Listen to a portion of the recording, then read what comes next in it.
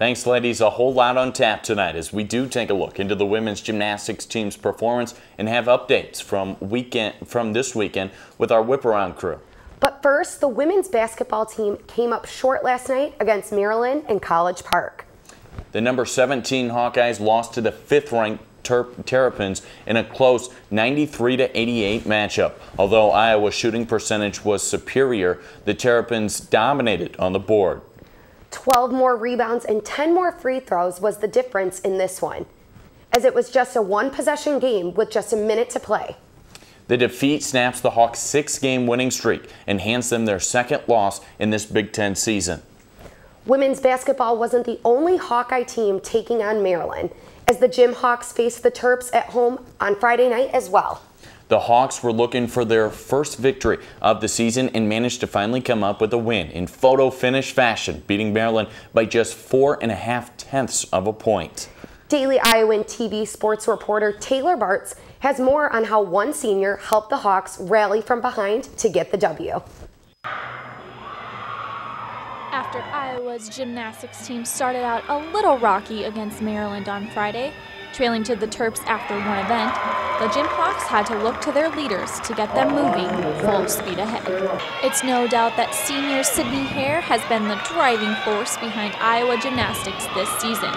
And after an unexpected fall on her bar routine, everyone wondered if she would be able to pull it together and lead her team to their first W of the season. But for Hare, there was never any doubt. She knew how important this win was for her team, considering their 0-2 start so far this season. Despite the fall on bars, Hare traveled to the beam next, where she contributed to a team best score of 49.025, posting an individual score of 9.80. The Hawks were led in this event by junior Allie Glover. Glover posted a personal best score of 9.875 to win the event and allowed the Hawkeyes to gain the lead over Maryland going into the event. It was on this next event that Hare really brought it home for the Hawks. She delivered her routine almost flawlessly, posting an individual score of 9.90, leading her team to an overall score of 48.975 on the event. The Hawkeyes left Carver happy at the end of the night. Along with Glover and Hare's individual wins, the team came out on top against Maryland, posting their best score of the season.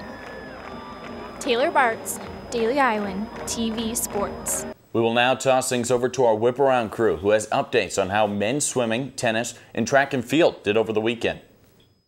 The Iowa Hawkeye men's tennis team won 5-3 over the Yale Bulldogs this past weekend. Iowa's Matt Hagan and Dominic Patrick improved to 3 0 on the season in doubles matches. The Hawkeyes won two of three doubles matches on the day. The Hawkeyes saw success in singles matches, going 4 and 2 on the day. Hawkeyes will return to action this Friday as they host Marquette at the Hawkeye Tennis and Recreation Complex at 6 p.m.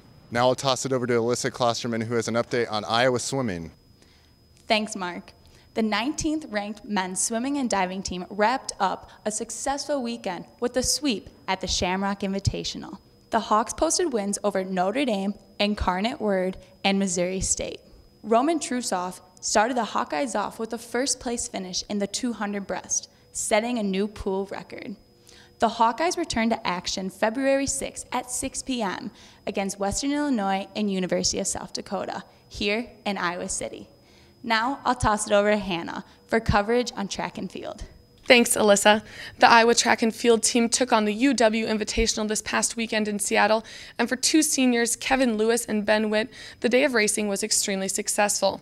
Both Lewis and Witt broke personal and school records in the 3,000 meter race. Lewis crossed the finish line of the nearly two mile run in just 7 minutes and 57 seconds, making him the fastest Hawkeye to ever run that distance. His time also ranks him 12th in the nation and first in the Big Ten. Witt finished the race just behind Lewis at 8 minutes and 20 seconds.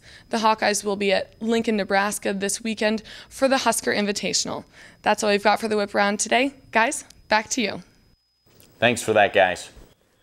Well, we're all out of time here in the sports studio. Selena and Megan, back to you.